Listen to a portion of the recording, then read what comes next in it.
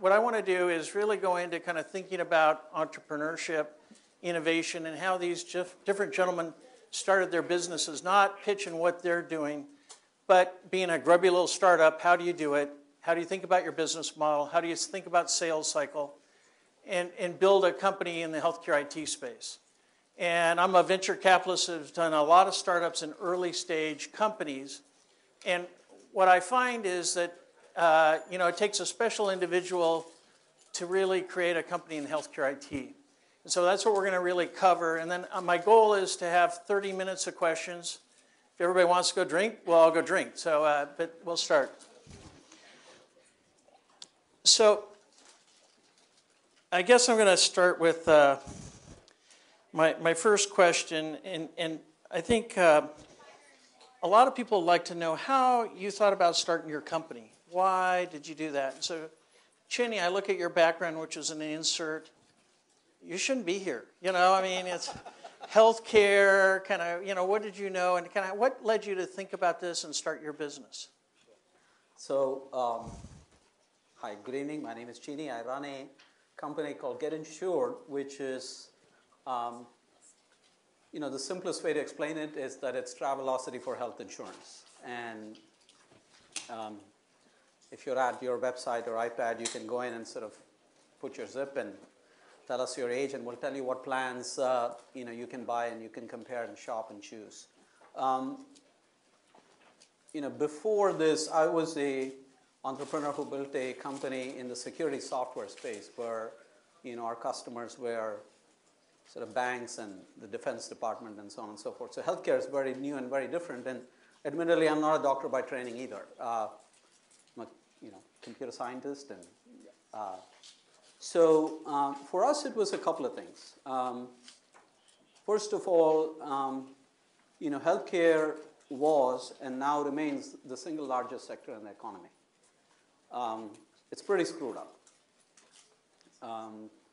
It lags the adoption of modern information technology you know, relative to other financial services that I'm familiar with, easily by 10 years, if not more. Um, and then there is sort of the why now question, which is, um, you know, there are numerous attempts at sort of modernizing and taking various attempts at sort of modernizing healthcare IT, the consumption of healthcare, how you know health payments is distributed.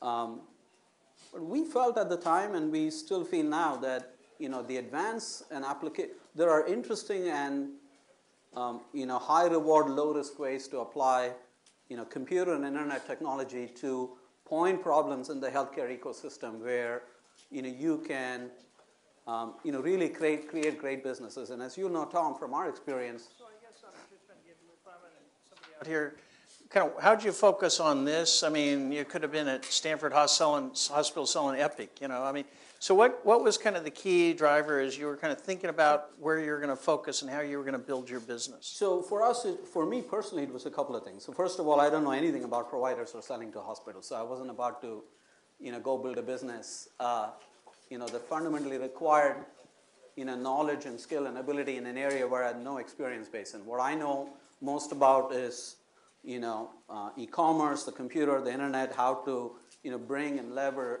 you know, computers and internet to you know, make systems and processes more efficient. Um, and as you know, Tom, you know, we tried, we looked at you know, numerous verticals around you know, drugs and doctors and providers, and there's other businesses that have succeeded, but we found that the place where consumers made the most proactive decision around the purchase of healthcare was when they were buying their health insurance plan. And so that was a place where we could intervene and you know, we had a measure of success. So, you know, like any good investor, you sort of, you know, you put your your your your energy and your efforts behind the things that work, and that's how we are where we are. And as you built your team, you took two or three people you knew in the past and brought them in, or did you hire domain experts? So we did two things. We, um, you know, in healthcare IT, we, I think it's uh, you know building good healthcare IT firms um, requires that building the right culture where you bring sort of the IT side of the house and the healthcare side of the house together. So I think you know we have we were fortunate in being able to hire um, you know, people who, that came out of Healtheon, WebMD, you know, great companies that have been in that intersection before. And to this day, I would say that when we, you know, look for people who are generalists, we're certainly looking for passion uh, with respect to healthcare, because you know, healthcare is its own beast, and um, you know, if what's important to you in life is to make money, there's easier ways to make money. So, so David, I look at your background. You're in Arizona you know, thinking about air pollution or something, you go to the White House and now you're running a company. What, what, what, what went wrong there? I thought Arizona was a pretty good place, you know? Yeah, get back to Arizona actually.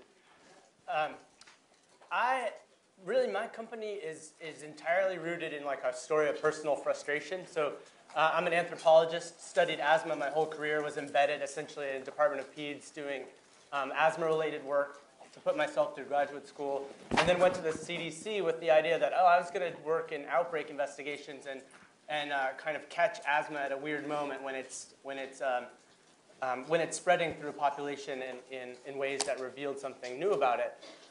Um, you know, learned SAS, like parked myself there, and, and essentially realized very quickly that we were looking at data that was two years old and not geographically specific enough to do anything with.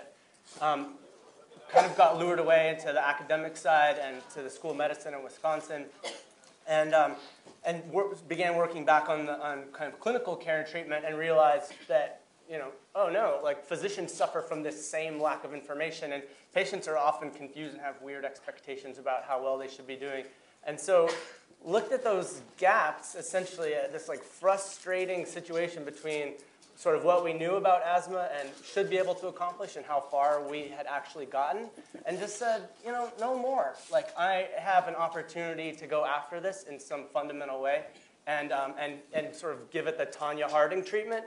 And, um, and I can tell we're getting late in the day, you know. Sorry, yeah. wow. Uh, and and um, and started it, you know, in kind of my um, really JV lab there on, on campus. And then realized that if I was going to make a dent, it wasn't going to be in through like, you know, R21 and R01 grant cycles. It was going to be because I like built a farm and actually invested in, you know, like big technology and brought in awesome people and, and uh, you know, and stopped being a hunter-gatherer for funding and, and actually became like an industrial farm and rolled this out. And went after a persistent and you know frustrating issue, which is chronic respiratory disease, and how little we've done to make a dent in that. So that's, that's great, Hamid. I, I see in your background four startups at 20 years. You can't keep a job, or you know what's, you know. So how did how did you evolve and where you are? You know. Oh, my last company. First of all, thanks for having us here. This, it's a pleasure to be here. Thank you. Um, my last company was a digital imaging company. Uh, imaging is probably the second most expensive part of uh, healthcare, and it's become more and more advanced to the point that just about every physician relies on it for either diagnosis or treatment planning. Uh, it got to a point that the number of exams, the number of images per exams were too much for radiologists, so it had to go in a digital format. You couldn't hang enough film anymore. So in my last company, uh, we automated that process we were successful, got installed in 1,000 hospitals, uh, and I left uh, in the middle of. No, I, I, wasn't giving you grief about your tenure, but then as you looked at the nucleus and how you kind of looked at partners, and you started kind of a, a different approach than these other two gentlemen, and how you approached building a business. Maybe you could share that. Sure. Uh, I'm an engineer by education, and I learned a long time. And I've, all I've ever done is healthcare IT for the last 30 years or so. Uh, I learned early on that if you want to build a clinical system, you start it inside the hospital. You sit next to a doctor and you build it from there, as opposed to build it in your labs and then figure it out afterwards. Uh, I partnered with Mass General Hospital, where I had started a previous company. And in this case, it was much more convenient to start with a piece of software that they had already developed. It was kind of an unfinished thought. And we licensed that from them, uh, gave them some equity, small percentage of the company, uh, no royalties. That was a hard negotiation with Harvard and the way they run their IP systems.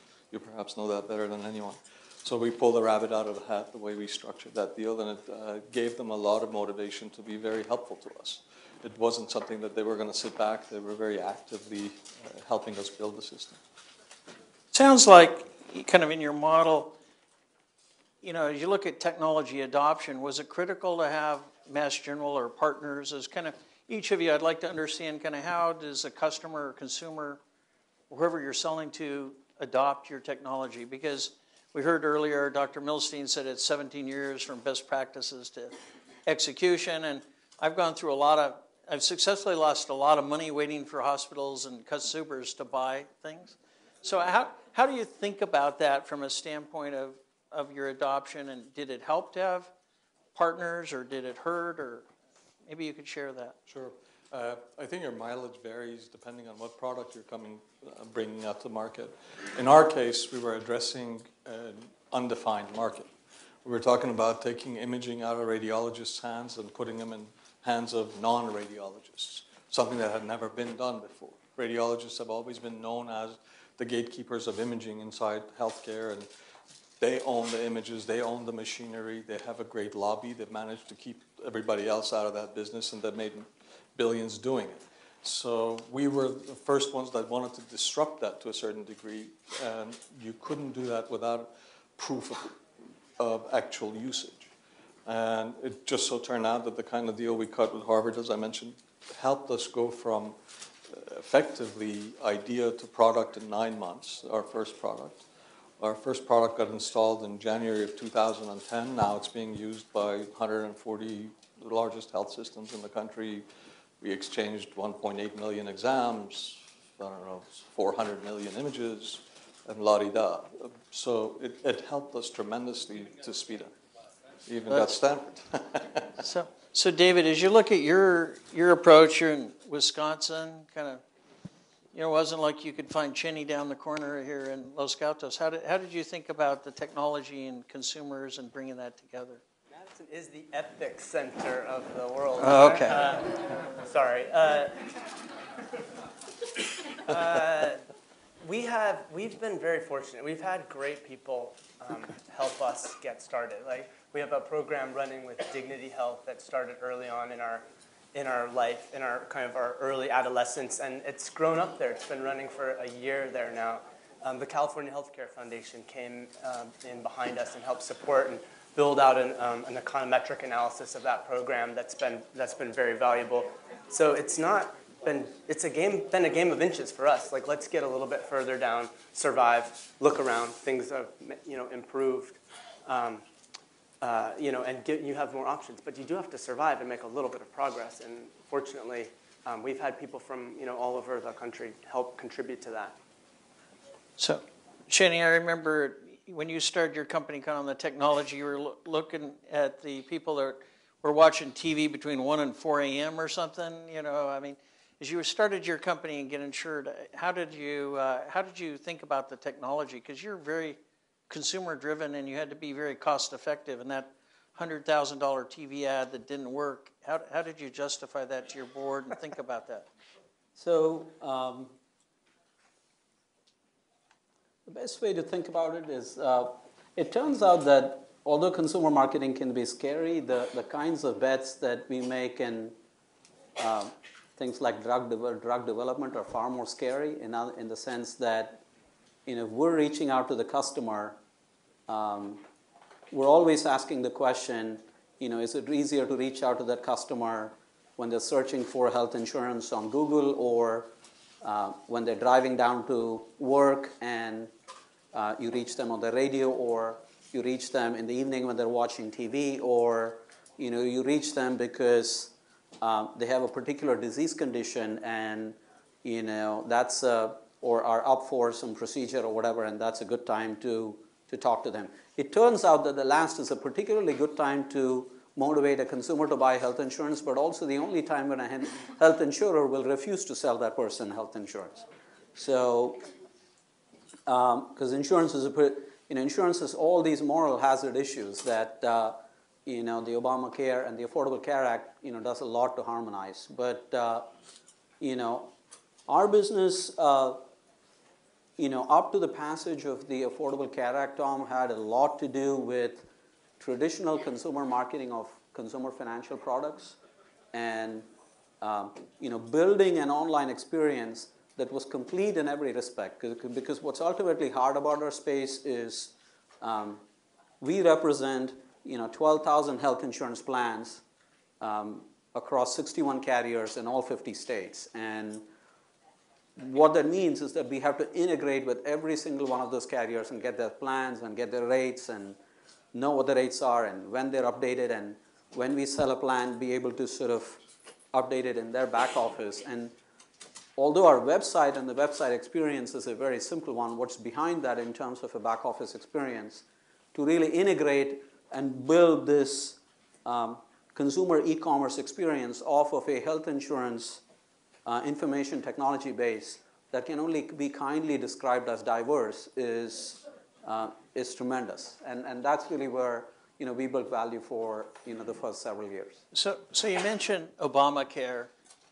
What, what, how did that impact your business and maybe share kind of what you think is the opportunity? I mean, we see Obamacare as, is really a, a wave of change, you know, and you know, everybody kind of talks about it, but no one knows what's really going to happen. in Massachusetts, uh, where Hamid's located, is kind of experienced it, but it's not the full, the full uh, extent of that. And as we look at that, so how did that affect your business and kind of going forward? We'll start with how we see the Affordable Care Act first. I mean, um, in many ways, it is generational in scope. Um, I mean, if you think about how all of us here consume health insurance, most people get it from their employer. Uh, that's about 120 million Americans. Uh, or um, if you're older than 65, you get it from Medicare. And those are the two largest population bases of people that get health insurance in one way, shape, or form. Um, for the first time in January of 2014, you will have roughly 70 million new consumers that will enter the market in one fell swoop over sort of a two to three year period becoming active consumers and purchasers of, of health insurance. And that is, it's huge. There's nothing like that in any consumer market that, you know, has occurred in sort of, you know, history that we can all sort of remember. It is, it is it's quite gigantic in its scope. And there's a couple of things that change. Um, regulatory change makes the whole process a lot more digital because it now, you know, uh, the dirty secret of health insurance is that until now, you know, consume, uh, an insurer in the consumer market could discriminate against you because of your health condition. Because you had diabetes, you had asthma, you had you know, heart disease, I'm sorry, you were out of luck. We, we weren't going to insure you. Um, all of that goes away.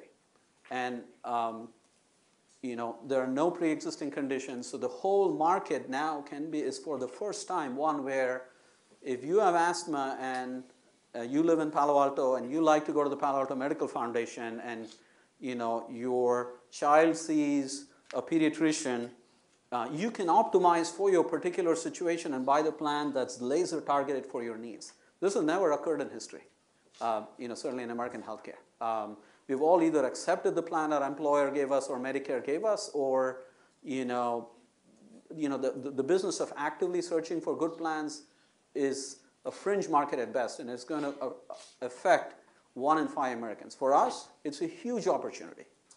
Uh, and it's a huge opportunity in two ways because for the first time, um, you know, our market grows by five to six times overnight, and that is good enough. But also, it is true that every state in the country is required by law to build these health insurance marketplaces called exchanges, which we're in a perfect place to license, and those are gigantic and large deals for us. So we've pivoted our business around the Affordable Care Act significantly and see it as an unalloyed plus. We have a sequester. The government is cutting down these exchanges. Is there a risk that I call on January 1 and try to call somebody at Uncle, you know, at the government and say, in what, 37 states? Is there a risk that no one's going to be there? So I think the enrollment process of this at the end of this year is going to be messy. It's going to be messy not because of the sequester, but because when you look at the history of any large program, it takes years to stabilize. I mean, Medicare Part D the first two years of enrollment were just messy, and that's the that's simply a function of tens of millions of customers trying to get enrolled all at the same time, you know, having long wait times on the customer service line or websites that go down and so on and so forth. that is inevitable and at some level going to happen. Our view is, you know, the messiness is par for the course. If we continue to innovate and we continue to bring to consumers um, the ability and the way to sort of consume and buy plans and use those plans where they are in a way that is uniquely suited to their needs, we're going to build a great business. So Hamid, how you're a company that kind of really is a Dropbox for medical images. Are you impacted by uh, the Obamacare? Or? We are. Uh, maybe by way of background, I can give you some statistics.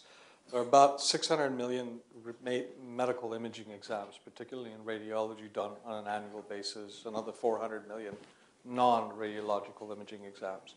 Total is about $120 billion a year market. Somewhere about 25 billion of that is repeat exams simply because the new physician doesn't have access to the history of the patient. Up until this point, up until Accountable Care Act and accountable care organizations and going from pay fee for service to value based, incentives were misaligned to a radiologist, to a cardiologist who happened to have an echocardiogram in their office. A repeat exam paid as much as a non repeat exam. There was no incentive in stopping that. Now, when you're at risk, the first thing you want to do is stop that. So all of a sudden, radiology has gone from being 30% of the bottom line of a hospital to let's not have that MRI used on that patient. So uh, it's tremendous difference. And David, from your, your perspective? Slightly different perspective. I think, I think for, um, for digital health or whatever, it's just a huge opportunity. It's like this crazy kind of reshuffling going on. And fundamentally, nobody is, while they're reshuffling, has, you know, is figuring out the basics of like how to translate advances into actual better respiratory care. So you go work on that and deliver that in a great way. You build an awesome product and the, all the reshuffling and staging uh, is, uh, is like fertile ground for experimentation and also for like crazy kinds of realignment where you see um, pharmacists playing you know, a hugely underutilized resource in the community. So you, you can imagine new kinds of align, uh, you know, new kinds of arrangements that have the ability to kind of uh, take out some fundamental problems that have um, you know, potentially obstructed del uh, delivery of good care and treatment in the past. So as we look at your business model, I'm intrigued. What is your business model, and, and do you work through people or or not, or how, you know? I, so why don't you describe how you kind of thought about your business model, and then for the entrepreneurs, how do you think about collaboration or with a large organization or small? How did you go through that thought process? To me? Yeah. Um, our model is to essentially cut the amount of uh, money that people, that plans, payers, delivery systems spend on, on uncontrolled asthma or on COPD. So if you manage COPD and asthma effectively, you can knock out thousands of dollars in unnecessary healthcare costs. And what we do is use technology and then a whole raft, perhaps more than I imagined when I got into it, of, of human services and, and attention to get people um, to so, sort of support better self-management and to give um, clinical side into um, you know in, new insight how their panels of patients are doing. Um, so that that is essentially our business model. But our mission is like it's not to um, you know not to make it uh, not to add to the burden of it, but to figure out how to make it easier for people to better manage it with less effort, right? Like if I build something that actually is, is a, uh, you know, adds one more dollar of cost or adds 10 more minutes of time that somebody in a family or household has to deal with, um, I, we should just write the obituary and go home. You know, literally, those days are over now. Like the launch of Shared Clarity just shows that fundamentally. You know, there there will be no market for an ineffective device or a pharmaceutical anymore. It's over. And um, so uh, I think you know what follows from that is some, is a pretty clear model about who you sell to. You sell to people who have financial risk for for crappy outcomes that we've tolerated in the past, and we won't stand for that anymore. We have to do a better job and hopefully we just knock the thing out altogether and we can go home, you know? So, uh, Hamid, what, what's your buzz, business model? Uh, you know, who do you sell to and how do you see building your business? Well, we have an endpoint that uh, we hope payers will want to subsidize or at least pay a portion of our services because they're the ones who get to benefit from reduction of unnecessary exams and the $25 billion of waste. But if you think of us as a network similar to a cell phone model, uh, you have to have a bunch of handsets before you have a network. So to start with, we sell applications to providers that cause them to join the network. And those applications are basically to improve their referrals or service their community better. Uh, at the moment, we charge a service fee depending on volume for providers. And there are four or five different kinds of applications of our network. And depending on which ones they choose, their rates change, very much like a cell phone plan. You get a portion that is use it or lose it on a monthly basis. So we start on a minimum. Uh, we also, on the marketing side, specifically target the largest thousand healthcare systems in the country, because that's where 70% of all imaging exams occur, or that's where the specialists live, where people need to bring imaging. So we're very exclusionary as to who we sell our services to. So, is, is this a good model? Because I look at larger insurance companies, and Aetna's innovative, as we heard, and really unique. But I'm not sure they're writing checks, or uh, I don't know if they're a customer or not. And then I look at the hospitals, and there's a CIO, there's a bureaucracy, and they have money, but it takes a long time for sales cycles. So, what is that? How's that impacted you as you kind of think about raising money and funding, and and kind of how did that approach you as you're kind of looking at your business model and figuring out? You know, I we were involved with uh, Athena Health, and we used to say SaaS models are great, but the trouble is you're financing your customers. It sounds like you're almost doing that a little yourself. I mean, if you're waiting for the insurance company. So, how have you thought about that? We're doing a lot more than a little of that, yes. It's a very expensive company to get off the ground, uh, but it's a recurring kind of revenue. Uh, we do have minimums that we expect our customers to have a range. For instance, in a large health system, we expect to be somewhere between 200 to 400,000 dollars a year uh, in terms of expenditure. Uh, we built this business model based on getting to profitability in 2015 and needing a lot of dollars between now and then. So yes, we, we too finance our customers, and thanks to venture capital, we get access to enough money. So, so Chini, your, your company's, you know, soon to be break even cash flow. You've gone through a little money. How do you, how do you, how do you think about that? And as the entrepreneurs are thinking about you know, starting a business, you know, uh, what, what are the lessons learned? And how do you think about kind of if you were doing it again or, or the challenges on, on thinking about financing a, an early stage healthcare IT company? So, um, I think doing any company, uh, certainly in healthcare IT, you know, perhaps not with respect to pharmaceutical development, you know, has a nice analogy to poker in that you want to be counting cards. You want to be throwing a lot more money against, you know, a hand that looks good and, and you know, attenuate the amount of capital you raise when things are a lot more experimental. And um, the, the two or three things that have held us in good stead is, you know, we have not been afraid to say when we're wrong and cut our losses. Um, we have not been afraid to experiment, but we've. Go I go back to that. So yeah. you have some guy that gives you his hard-earned venture funds. He invests. He comes to the board meeting six, you know, the three months, and you say it's not working, and you know you throw the business plan over your shoulder. How how do they react? I mean, you know, it's kind of they they spent six months getting to know you, feel comfortable. This is our vision. We're all in. How, how does that work? And So Tom should know the answer to this because we had that exact same experience with Tom. Uh, uh, I think I would summarize the answer as um, in a couple of parts. So first of all, I think any as with, as you build a business, first of all, you do want to be looking for seasoned investors because if there's one truth in building a company, you know the plan you set out with is certainly very unlikely to be the plan that you'll succeed with. So you're gonna you know, be twisting and turning and meandering your way to success. And it's important that uh, to do two or three things. So first, I mean, you want to be, you know, absolutely maintain integrity, but you do want to build relationships with your board and your investors, and you want to tell them what's go- exactly what's going right and what's going wrong, so that you know these decisions are shared.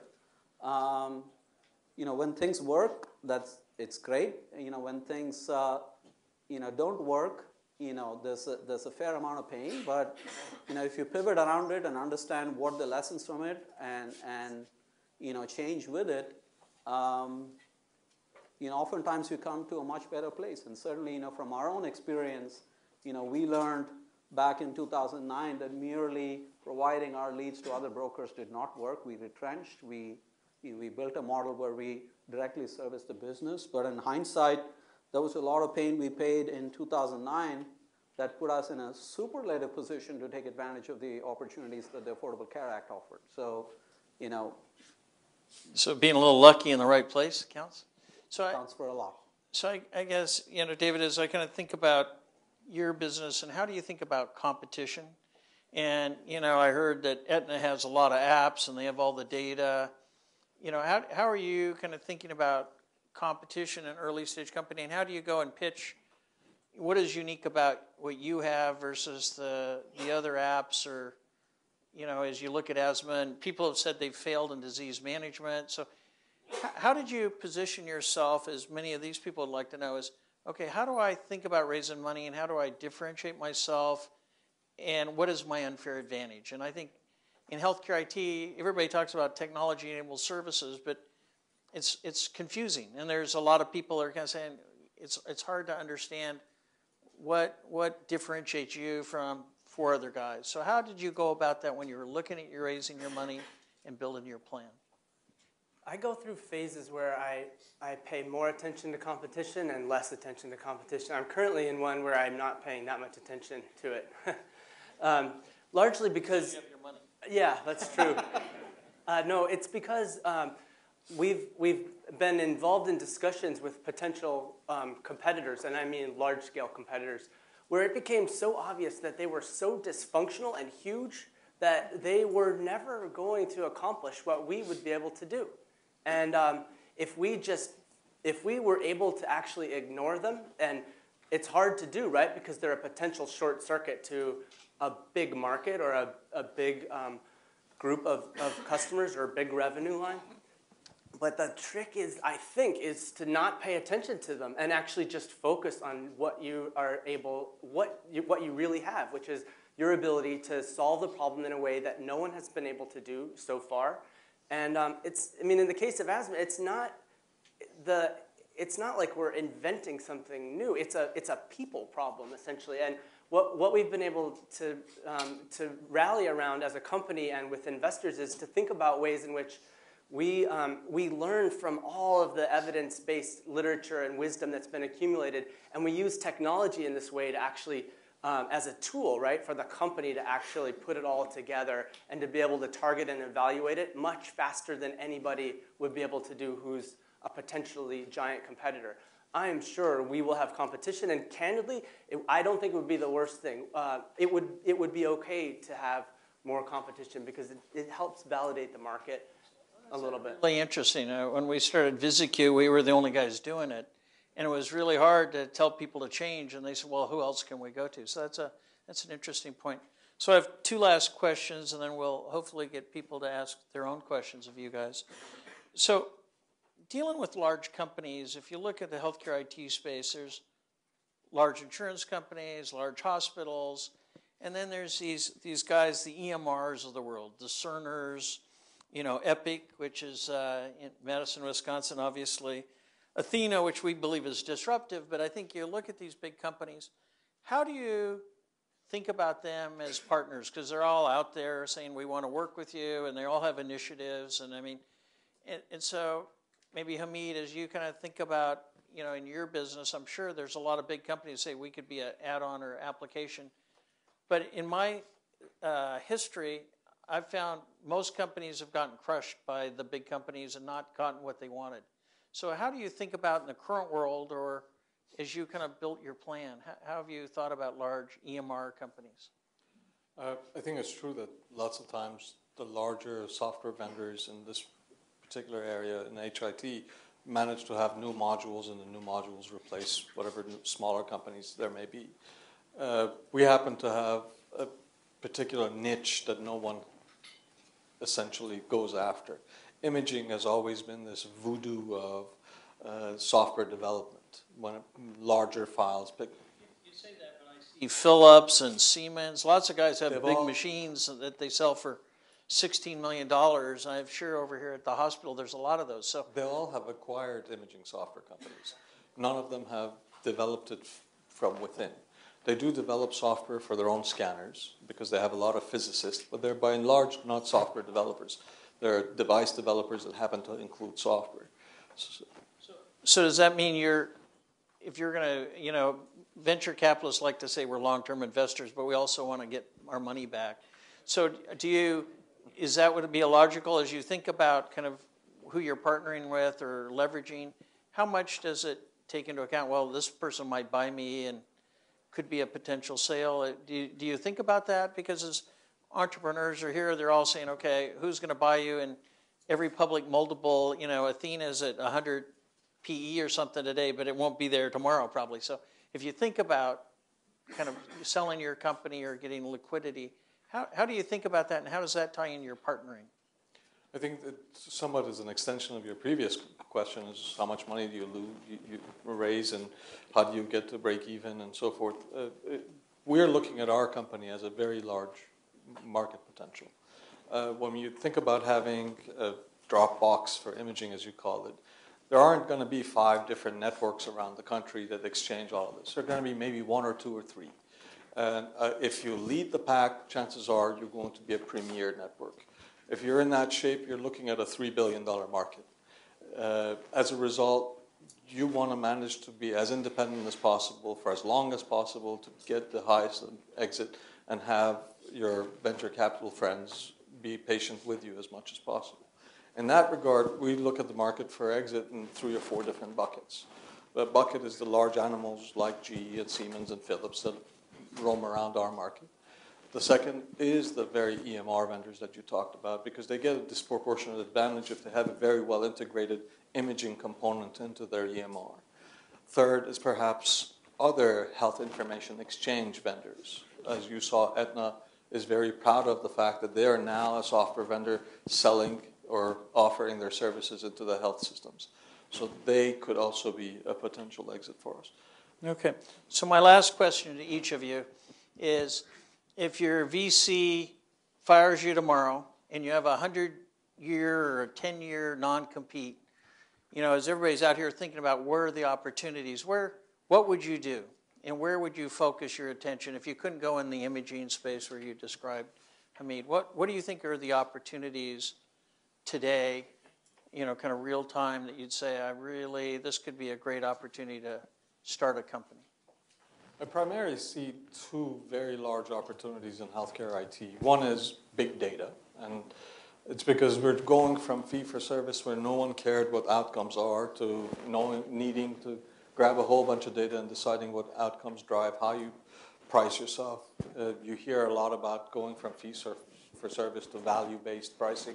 Nobody really knows how to price that stuff, nobody knows how to measure the quality. Uh, the data is there. Uh, I think our previous speakers were talking about how much data matters, but we don't have the analytics today. And I'm sure whatever analytics platforms there are today, we will, will be the first generation, and three generations later, in 10 years from now, you'll have brand new uh, kinds of things to look at.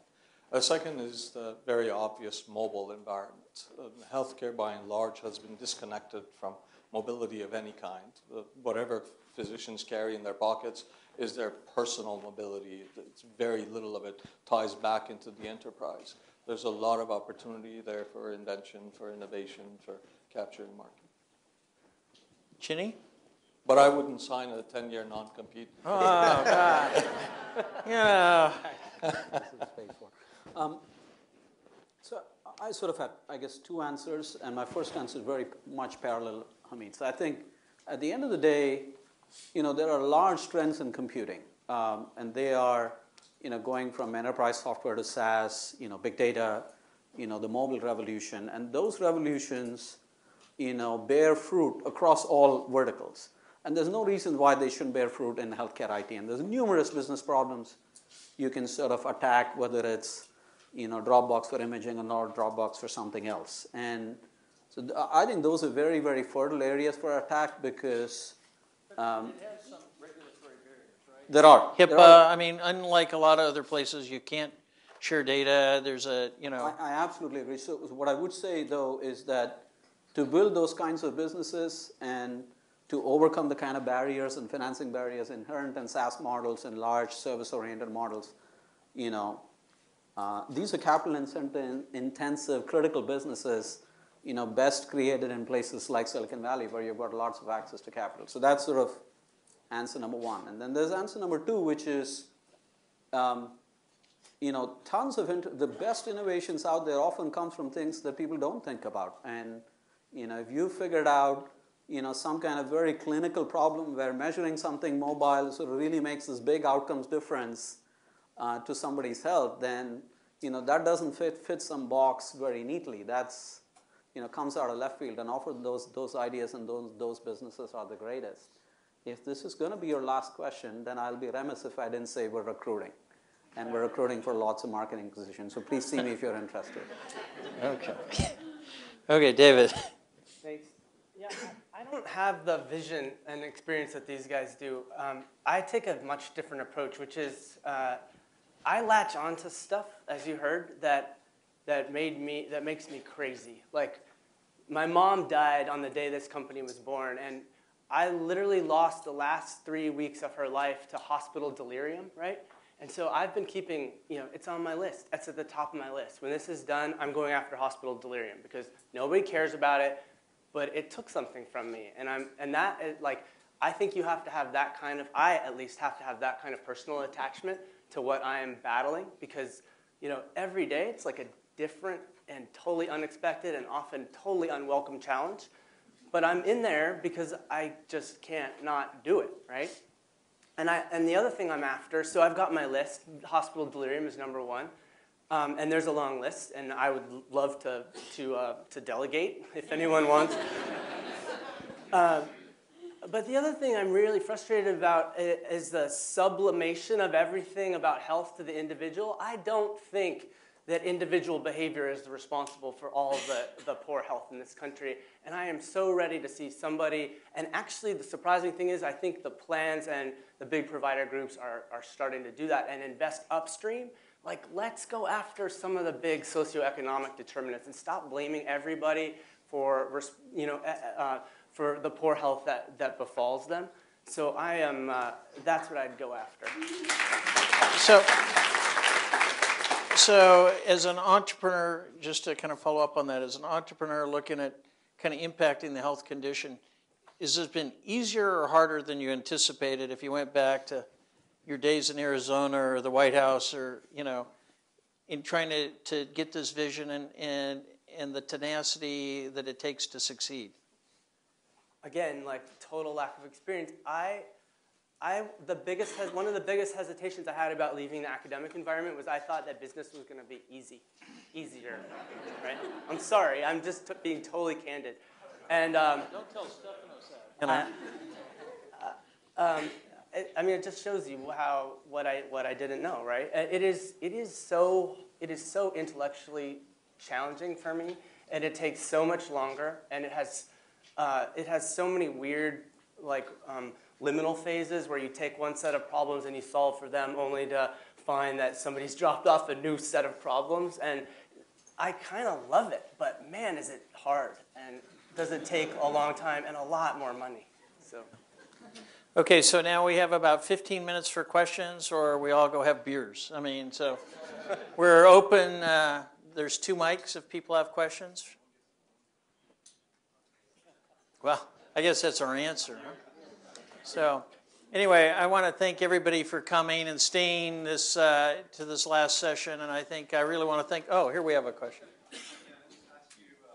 On, I'm not sure. Yeah, ask you a question. Um, Abraham uh, was talking about uh, low hanging fruit when you know had the apple underneath his table, and there's the maximum, of course, that an apple a day keeps the doctor away.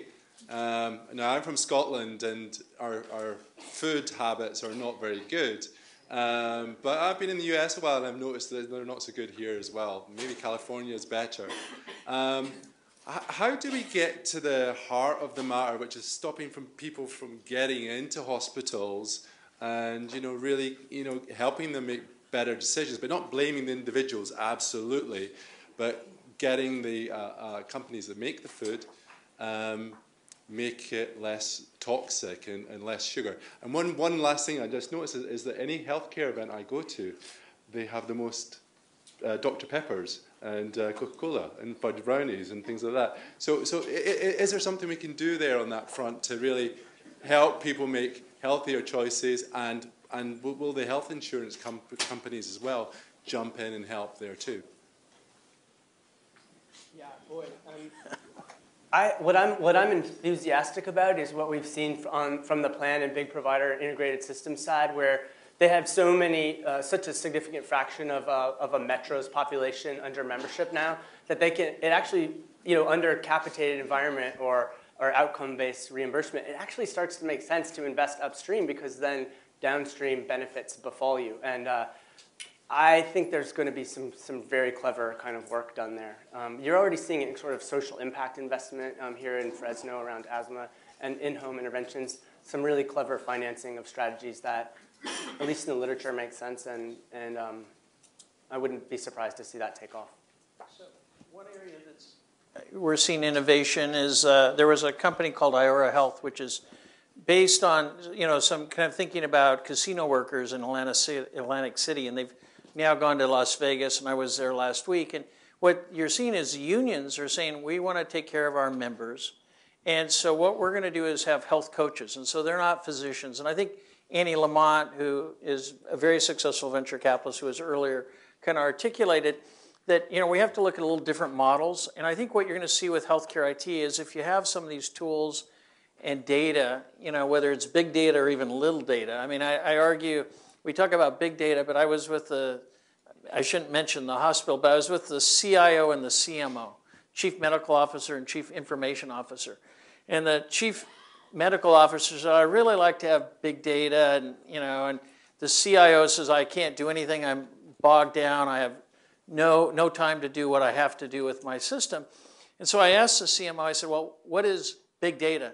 He said, Well, I've bought a whole bunch of physician practices, and I want to see if they're referring to our hospital. So there's a whole definition of kind of what is big data or little data. You know, and it, you know, it seemed intuitively obvious. You want analysts, you could figure that out. But and so I think but Iora is kind of saying we have two doctors, we have 16 people, and we're going to manage. And so what they're saying is you're not going to have a doctor. You're going to come into our clinic, and we're going to manage the diabetic, and we're going to have a, a Wednesday night session, and we're going to be there and be your coaches, and we're going to weigh you the.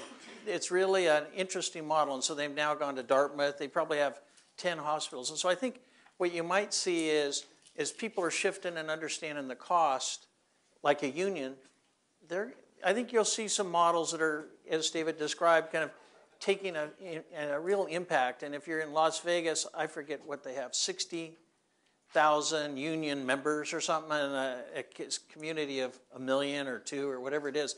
And so you take that 60,000 and you're saying, we're not going to give you a doctors, we're going to have a doctor in our center kind of work with you and you're going to come every week. It's going to have a big impact, you know, and they're open Saturdays and they're open until 10 o'clock at night. So they can get the people off shift. So I think it's uh, so I think you're going to see some interesting things. Anyway, well, listen, thank you very much for uh, for joining us, and I want to thank our panel.